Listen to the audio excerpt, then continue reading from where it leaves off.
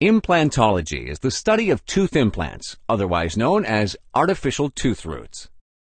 Implantology is a branch of oral surgery. Just as with regular surgery, implantology has rigorous hygiene requirements. There will be more about this in the videos entitled Sterility, Disposable Cover, and Sterilizer.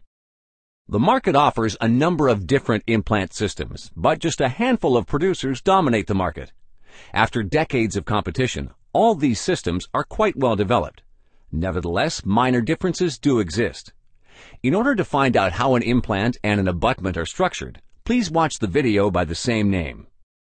It's important that the abutment is anchored properly on the implant with a conus. If you'd like to find out more about this, please check out the video entitled Conus Connection. Let's look at some of the other factors you should be aware of during an implantation.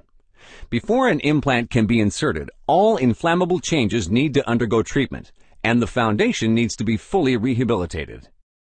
Care should be taken to ensure that no periodontosis, bad root treatments, gum inflammation, leaky fillings, or caries are present.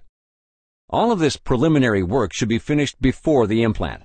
However, in the real world, an implant is often inserted right away. This is because the implant is the most lucrative work step for the doctor.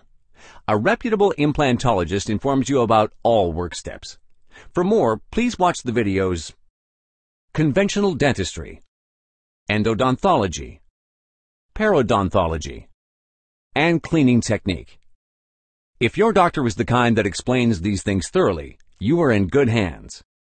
If not, well, we recommend you seek another opinion.